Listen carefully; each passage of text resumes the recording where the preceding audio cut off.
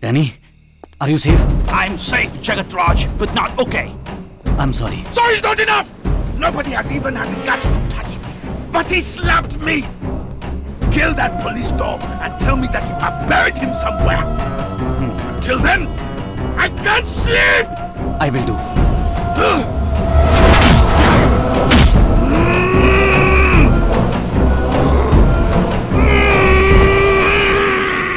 ये सब क्या हो रहा है कल रात भर सभी पुलिस वालों की एनर्जी वेस्ट की है तुमने। पूरे शहर में हंगामा खड़ा करके पब्लिक को डिस्टर्ब किया है I am taking disciplinary action against you मैं तुम्हें दस दिन के लिए सस्पेंड करता हूँ।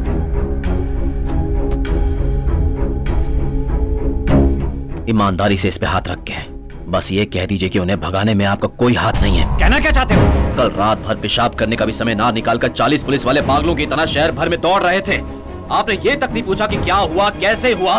किस किस पुलिस वाले के हाथ कटे पैर कटे उनके बारे में जानने के बजाय किसी और की पार्टी में दारू पी के मज़े कर रहे थे? इंसानियत के लायक नहीं तो Singham mind your language Sahay की बीवी मिट्टी का तेल छिड़के उससे पहले तो उसकी गंध सुनकर मुझे फ़ोन करता है। समंदर किनारे गाड़ी रुकने से पहले फूलती सांस में तू मुझे काम करने से रोककर मेरे आड़े आता है। शाने हो तुम लोग, क्या चल रहा है यहाँ? इसी देश के हो ना तुम लोग? यहाँ तुम्हें किसने नौकरी पर रखा? कल तूने डिपार्टमेंट के साथ धोखा किया है, उसके लिए मैं अपनी नौकरी से इस्तीफा देकर मुंबई की सड़कों पर तुझे दौड़ा दौड़ा कर काट डालता।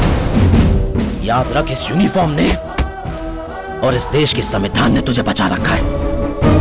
आँख में चोली खिल रहा है। फाड़ डालूँगा।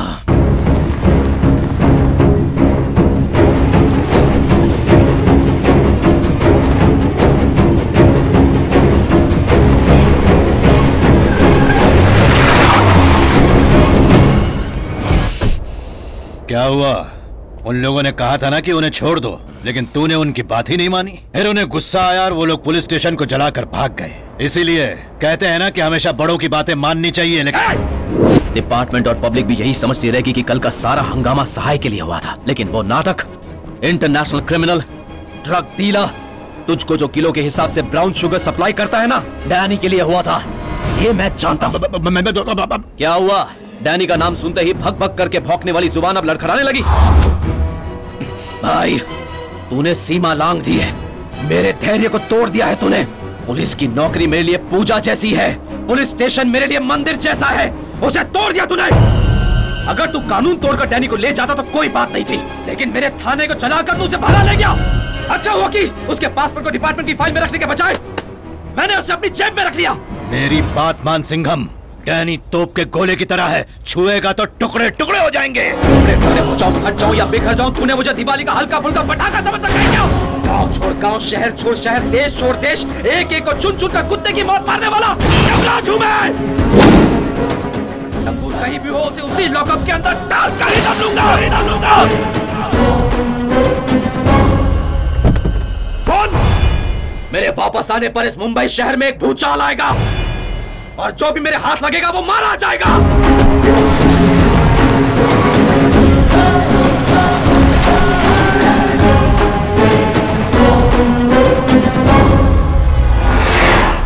लॉकअप से भागा इंटरनेशनल क्रिमिनल डैनी है। इट्स माय ऑर्डर उस भाई और जगत राज को तुरंत अरेस्ट करो। उससे कोई फ़ायदा नहीं होगा, सर। अरेस्ट करने के बाद कोर्ट केस के नाम पर बहुत सारी फॉर्मेलिटीज होती हैं। इन्हें संभालने के लिए क्लीन पुलिस नहीं चलेगी, सर। हमें क्रिमिनल पुलिस बनना पड़ेगा? कानून ना मानकर गलती करने वालों को कानून से बाहर निकालकर उनके हाथ पैर पर गोली मारनी होगी या फिर गला काटना होगा। चार लोगों को बीच सड़क पर मारेंगे तो 40 लोग डरेंगे 400 लोग सुधरेंगे और 4000 परिवार खुश होंगे सर। इंटरनेशनल क्रिमिनल के साथ बिज़नेस करने वालों का हम साधारण कानून से कुछ नहीं बिगाड़ सकते। तो फिर? तुरंत एक ऑपरेशन फॉर्म करके सहाय से लेकर ड्रग सप्लाई करने वाले डैनी तक सभी को अरेस्ट करना होगा sir. Operation operation D N operation beyond regular rules and formalities.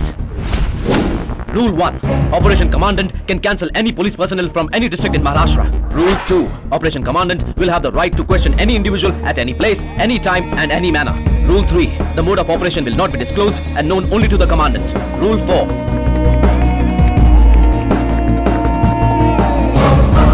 Rule 10. The Commandant is answerable only to the Chief Justice, Honorable Home Minister, Honorable Chief Minister of State. ठीक है ये फैसला मैं अकेला नहीं ले सकता मैं सीएम से बात करके आता हूँ। सर एक और रिक्वेस्ट थी। किसी भी पॉलिटिकल सिचुएशन में आप ये स्पेशल ऑपरेशन कैंसिल नहीं करेंगे।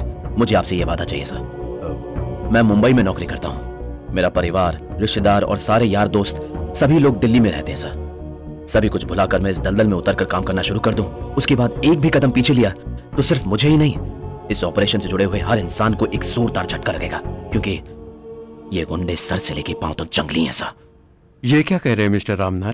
अचानक ऑपरेशन डी फॉर्म करना है क्या? कल का दिन विपक्ष के लोग सहयोगी पार्टी के लोग विधानसभा में सवाल उठाएँगे तो उन्हें क्या जवाब दूँगा? आठ महीने से एक पुलिस ऑफिसर को नौकरी से इस्तीफा दिलवा कर बिना किसी तनख्वाह के ड्यूटी करवाई थी। वो क्या कानूनी दायरे में करवाई थी या फिर विपक्ष के लोगों से पूछकर करवाई थी? जो भी करना है सोच के की कीजिए। से नीचे ओए भलू कर से घर के अंदर की माताएँ बहनें सब जल्दी घर के बाहर आ जाओ। ऊपर वाला भला करेगा भला करेगा। ऊपर वाला भला करेगा? कभी कभी नीचे वाला भी भला करेगा। हम्म, सुनो माता तुम महान हो। तुमने एक शेर पैदा किया है वो बाहर दहाड़ता है। आपको उसकी याद आती है आती है आती है मेरा पेट खराब है। मुझे ये तो सब सच बता रहा है। माते आपके शेर पुत्र के घर पर एक मेहमान आने वाला है। अरे हाँ। वो मेहमान वाकई कमाल का हीरा है। वो आपके घर को आबाद करने आने वाला है। उसे पालतू तोते की तरह पालना कबूतर की तरह खिलाना पिलाना लेकिन कॉकरोच की तरह मसल मत देना। ये तो तोता कबूतर बोल रहा है। उसका दोस्त तो वेजिटेरियन ही होगा। आ, माते वो लड़का चार टाइम चिकन बिरयानी खाता है तीन टाइम मछली फ्राई खाता है। अंडा आप चार रूपए का हो गया इसलिए अंडे का सूप बनाकर उसका मूड खराब मत करना माते। अब दूसरे घर का बेटा ना समझकर अपने ही घर का दामाद समझकर सेवा करना। तो धन लक्ष्मी स्वयं आपके घर आकर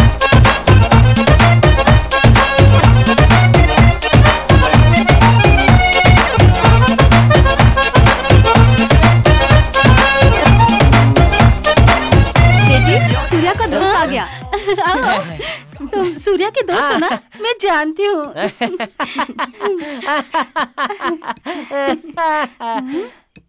क्या हुआ?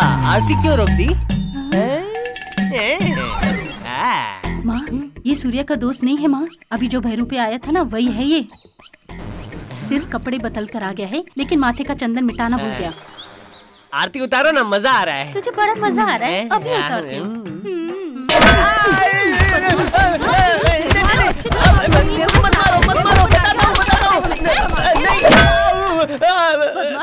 चिकन बिरयानी मछली फ्राई खाने की लालच में भेज बदला था बस। तुम्हें मेरे बेटे ने भेजा है तो तुम्हें अपने बेटे जैसे नहीं समझूँगी क्या? लेकिन मैं देर से समझता हूँ बुद्धू हो ना दीदी एक मिनट। आ, आपका पति सुबह नौ बजे दुकान पर जाता है रात को बारह बजे लौटता है हाँ बात तो सही है हाँ। लेकिन ये सब तुम कैसे जानते हो। मुझे पता है मेहमान को इतनी बुरी तरह पीटा है तो मेजबान का क्या हाल होता होगा? तुझे तो मैं रुक जा। ब्राउन शुगर सप्लाई करने वाले डैनी से लेकर हमारे पास लाने वाली लॉरी के नंबर तक उसको पता है। लेकिन सिर्फ़ वो एक बात नहीं जानता कि हम दोनों साथ में मिले हुए हैं। उसके वो जानने से पहले उसे खत्म कर देना है। मैंने फैसला कर लिया है। श्रीलंका से मैं एक शार्प शूटर को यहाँ पर बुलवा रहा हूँ। वो समंदर के रास्ते यहाँ आएगा। और पलक झपकने से पहले ही वो सिंघम के बच्चे के परखच्चे उड़ा देगा। आने वाले को कोई भी पहचान ना पाए। उसके मोबाइल से लेकर उसके रूम की व्यवस्था और खाने की ज़िम्मेदारी अब सब कुछ आप पर है।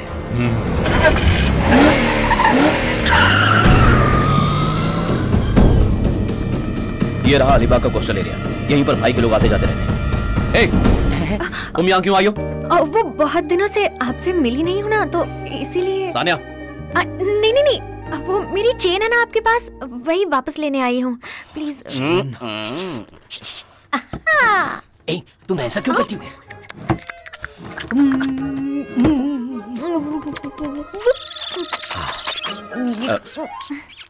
ये क्या हो रहा है? जी ये लो। अब जाओ यहाँ से। सर चेन और आपका कोई ना कोई तो चेन लिंक है सर। मतलब सबसे पहले काव्या मैडम भी चैन की कंप्लेंट लिखवाने आपके पास आई थी। आपको उनसे पूछना चाहिए था। नाइटी शर्ट की तरह उतारती हो या फिर बनियान की तरह ऊपर से उतारती हो? वो ना प्यार की शुरुआत थी और यहाँ प्यार परवान चढ़ गया। क्यों बे घोंचू? घोंचू? हम्म। मैं? हाँ।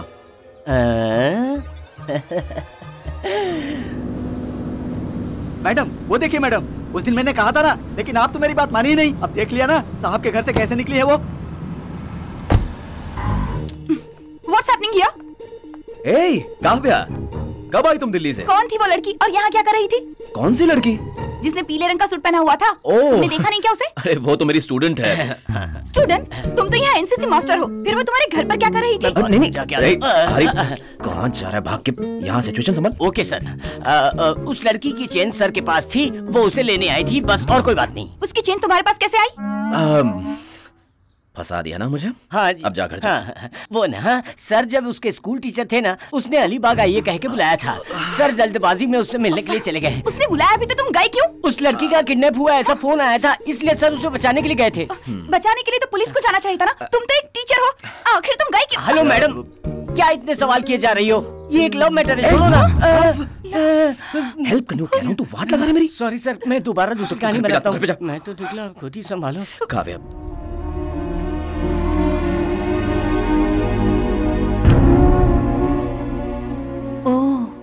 वन साइड लव है। कोई बात नहीं मैं देख लूँगी।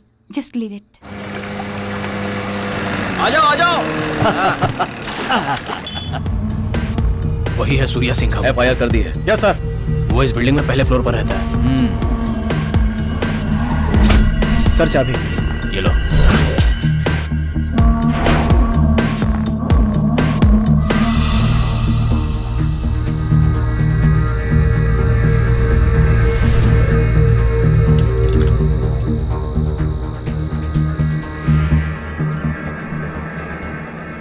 निशाना साध लिया है ना? हाँ भाई साध लिया।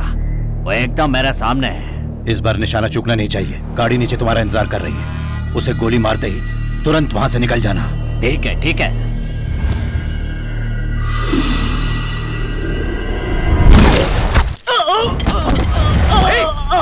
अरे क्या हुआ? क्या? अरे। होगा तुम्हें। गोली किसे चलाई? सर सामने वाले टावर से गोली चलाइए सर।